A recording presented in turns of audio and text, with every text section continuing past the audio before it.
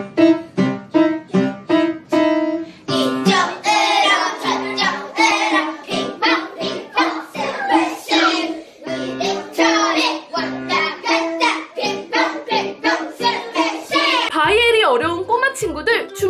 해주세요. 테크닉이 어려운 친구들도 주목해주세요. 나 이제 동요가 조금 지겨운데 하는 꼬마 친구들도 주목해주세요. 이번에 사모뮤직 출판사에서 정말 정말 열심히 만든 캔디팡팡 꼬마 동요집이!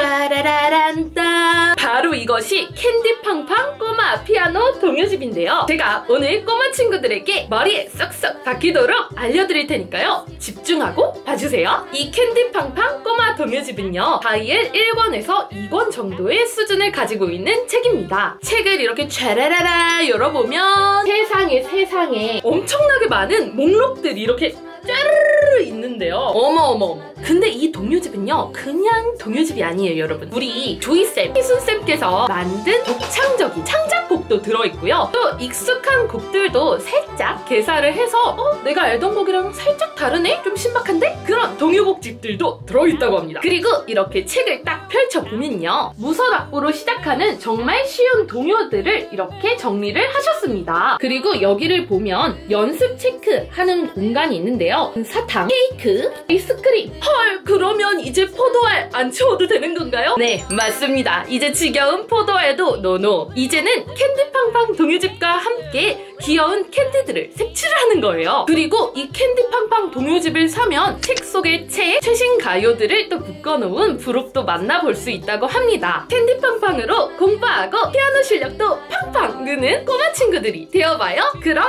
안녕! 준비됐나요? 네! 모기 잡으러 가자!